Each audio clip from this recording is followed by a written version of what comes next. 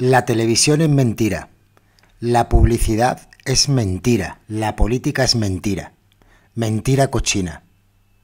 Jesús Quintero sostiene estas palabras y añade, mientras haya bobos, habrá engañabobos.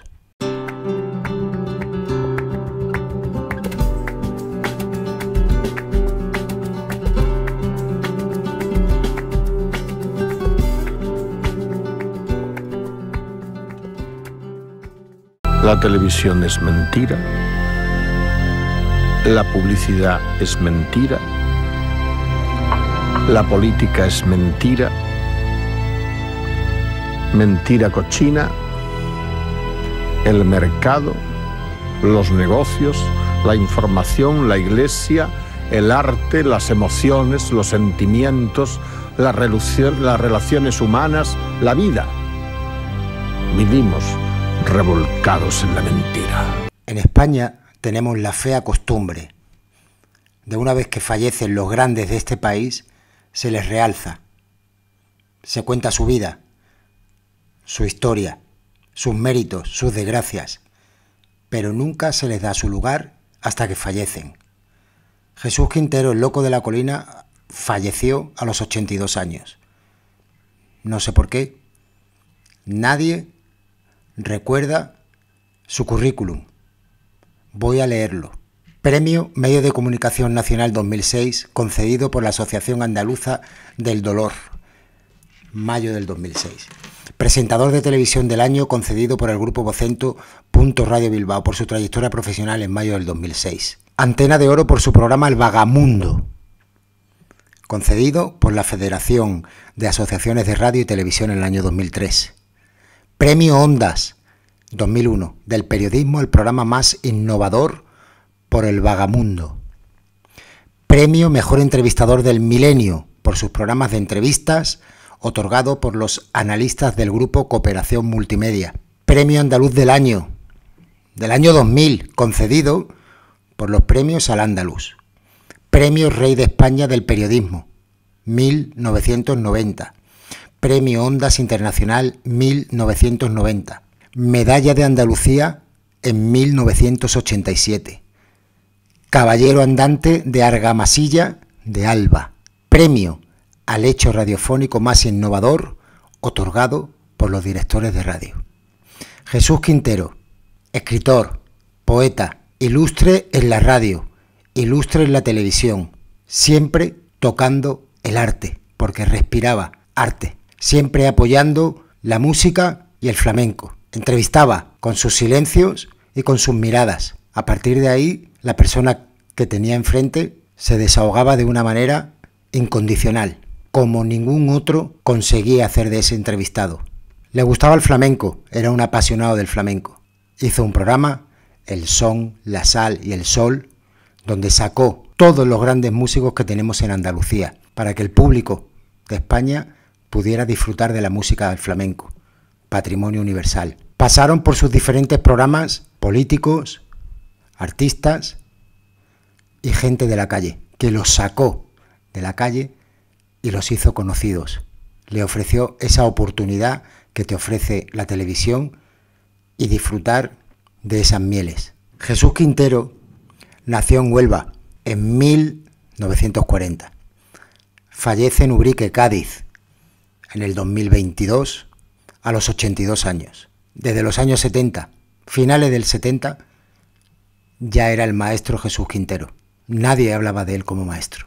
Muchísimos de los que ahora se consideran grandes en los medios de comunicación no le llegan ni a la suela del zapato. Jamás entre la profesión, entre los cuatro que mueven el mundo de la comunicación, se les reconoció su valía y su importancia, y su profesionalidad sobre todo iniciaba y finalizaba sus programas de televisión con una gran reflexión. Una de las últimas fue, todos somos unos fracasados porque por mucho que hayamos obtenido, nada es como se imaginaba. En su testamento vital, en sus últimas horas, haciendo uso de su micrófono, como de costumbre, se despedía diciendo, ahora me voy a contestar yo mismo, no sé en qué lugar, las preguntas que le he hecho durante todo este tiempo a los demás. Las últimas palabras con las que Jesús Quintero quiso despedirse de sus seres queridos corresponden al poema El viaje definitivo de Juan Ramón Jiménez, y dice así, en el rincón aquel de mi huerto florido y encalado, mi espíritu errará nostálgico y yo me iré y estaré solo, sin hogar, sin árbol verde, sin pozo blanco, sin cielo azul y plácido.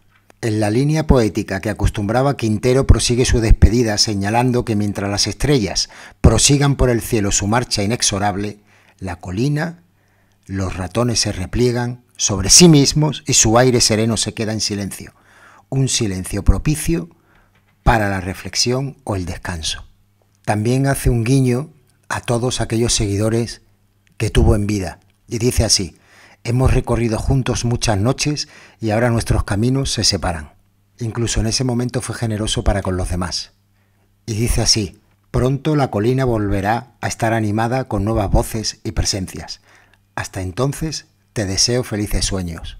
Sus hijas han querido despedirse de él a las puertas del centro sociocultural que lleva el nombre de Jesús Quintero en San Juan del Puerto, Huelva, ciudad donde nació, agradeciendo a todos aquellos que han asistido a despedirse de sus restos mortales, diciendo así, muchas gracias a todos por venir. Hoy es un día muy triste, pero también es celebración por una vida llena de amor, llena de gente y llena de cariño de la sociedad española. Nosotras decimos adiós a nuestro Padre, pero somos muy afortunadas porque siempre va a estar con nosotras. Son muchos años de televisión, queremos hacer cosas muy bonitas con su archivo, con todas las entrevistas que ha hecho y de verdad que muchas gracias al pueblo de Andalucía entera, al país entero por todas las muestras de cariño. Mi padre fue un ser humano extraordinario capaz de detectar y de ver la verdad con solo una mirada y también capaz de transmitir la verdad y el arte. Nos sentimos muy comprometidas con defender esa libertad, pasión, creatividad, esa capacidad de rodearse de talento y de escuchar a todo el mundo. Y sus hijas públicamente se despiden de su padre diciendo, mi padre se ha ido dejando una herencia llena de amor. Los grandes, en cualquier sector profesional y personal, nunca mueren. Mueren cuando se les olvida cuando ya no se les nombra, cuando no se les menciona. Jesús Quintero, el maestro, tiene un legado lo suficientemente grande para que nos hagamos la idea de que no va a fallecer nunca, porque nunca será olvidado. Jesús Quintero y su inconfundible estilo periodístico hicieron historia y crearon momentos que se han quedado para siempre grabados en nuestras retinas. ¿Quién nos recuerda su entrevista a Rafael Escobedo? Fue a la cárcel, a la cárcel de Dueso, y le entrevistó. ¿Quién puede olvidar esa entrevista? Os recuerdo que días después de esa entrevista, concretamente tres, Rafael Escobedo se quedó dentro de la prisión. Rafi, la cárcel te está destruyendo. La cárcel me ha destruido.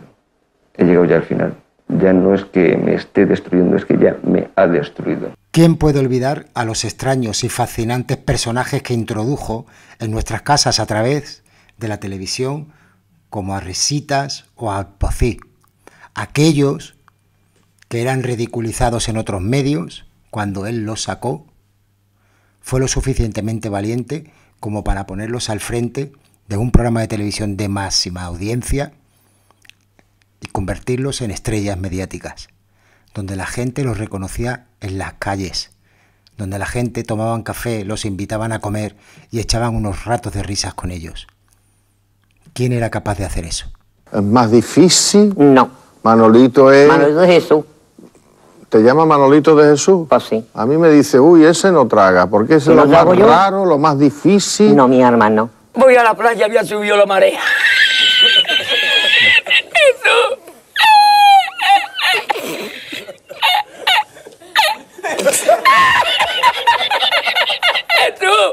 ¿Cómo no recordar esas entrevistas inmensas que hizo a personajes irrepetibles de la talla de Antonio Escotado, Conoceremos la inmortalidad Yo preferiría morirme de una sola vez. Antonio Gala Quedan por salir, por cierto, muchos escritores, filósofos y poetas del armario. Ahí. ¿De qué armario? Del nuestro, de España. Ah, del nuestro. Sí. ¿Quiere usted decir del de usted Sí. o del mío? Del- o Maradona. Cuando llegaste a Sevilla dijiste, cuando vi por primera vez la noche de Sevilla, me dio gana de hacer otro hijo. Sí, es verdad. O el subcomandante Marcos, líder zapatista. Es el subcomandante Marcos, líder del Ejército Zapatista de Liberación Nacional. Todos estos recuerdos colectivos se los debemos a él, al loco de la colina, a su perro verde y a sus ratones colorados, a su micrófono, sus silencios y sus miradas interminables a cámara. Decía Jesús Quintero en su despedida, todo en la vida es mentira. Ojalá su muerte así lo fuera. Un abrazo, gracias a todos por estar ahí.